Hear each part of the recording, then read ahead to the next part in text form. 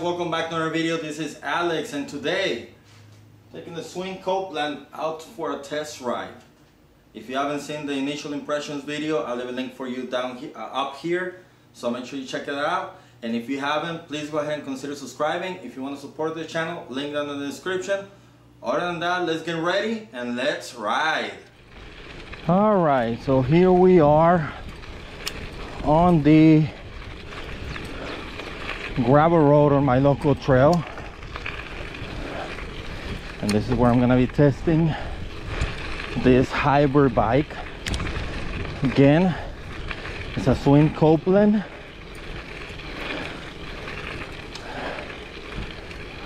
Mainly because I don't trust that fork.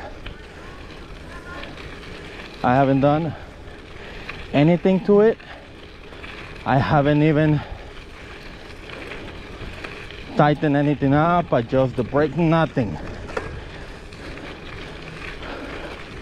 Just as it comes from Walmart.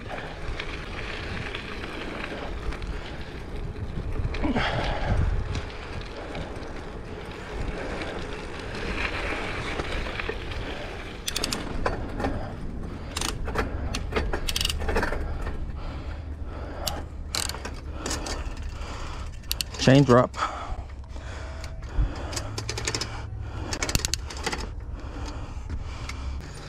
since we're on it. This twist shifters. Oh my god. The rear shifts okay. Although I've been hearing it wanted to change by itself like kind of jumping a little bit.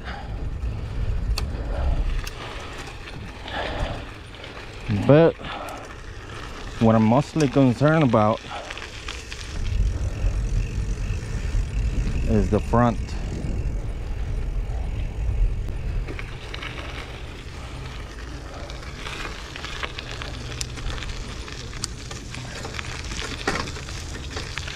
The reason being is because it's a gamble.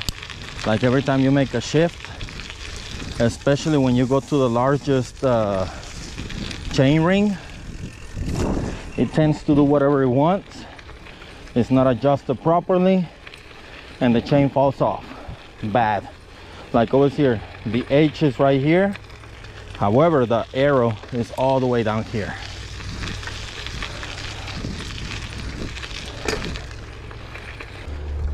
Now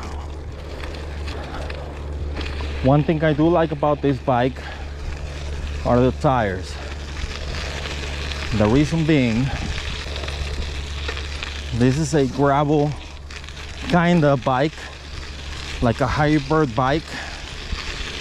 And those almost, they're not slicks, but they're gravel tires, I can tell. And in this gravel road, even though just rained, they're doing phenomenal. They are not sinking in like any other mountain bike tire will do and I like that about this thing and the fork you can see it doing its thing going over little bumps absorbing. It's perfect for this kind of riding. That's why I don't want to take it to the trail because it wouldn't be a fair review. But all these little bumps easy peasy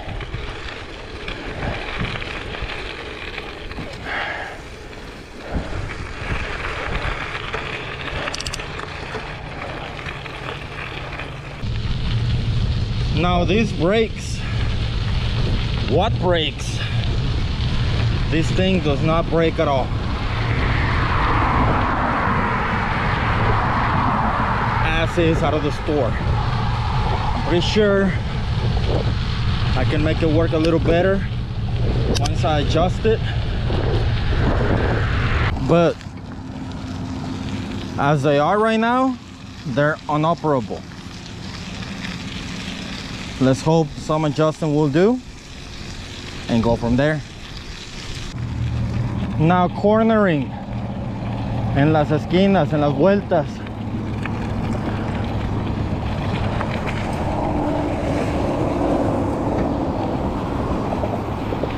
Very playful.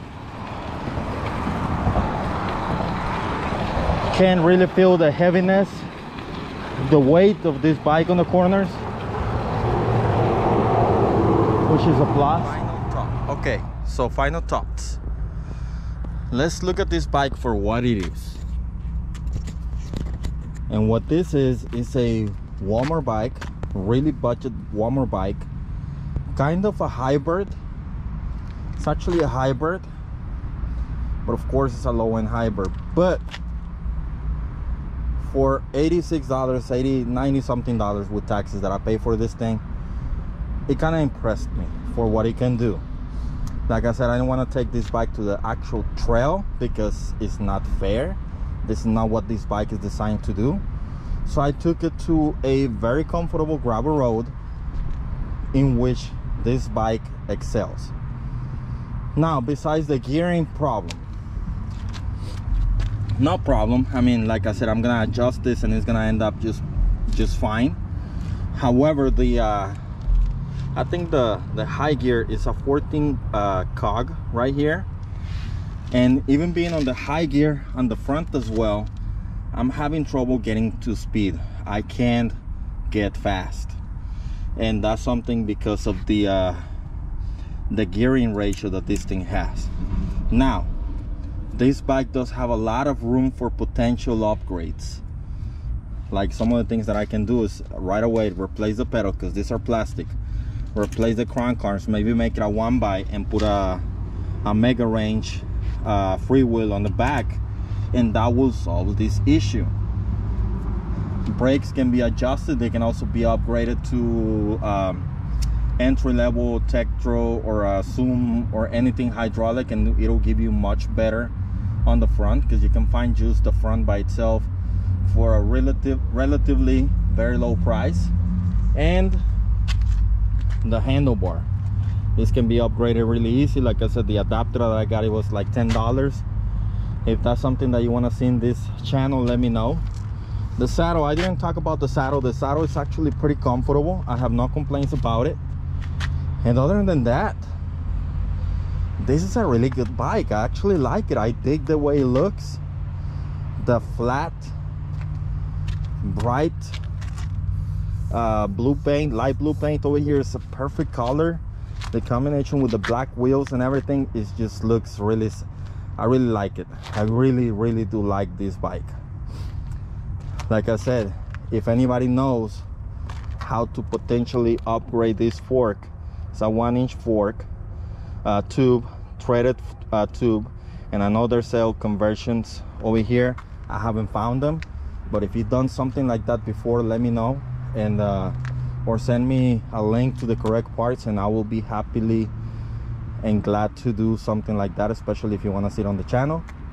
Let me know. So my thoughts on this bike for this price i'm gonna say that i fall in love with this bike. It's a really capable bike for what it is for commuting for gravel casual riding and maybe even some light trails without any drops or major things like that because you're not gonna get too far on climbs or uh, rooty trails with those tires. But it, it is a really capable bike. I really like it. Let me know what you guys think about this bike. Like i said if you like this bike let me know down in the comments if you have something similar to this. Also let me know let me know what you have on what upgrades you've done so far. Other than that i hope you like this video. If you learned something today make sure you hit the thumbs up button. Don't forget to comment share and subscribe and i'll see you on the trails. Goodbye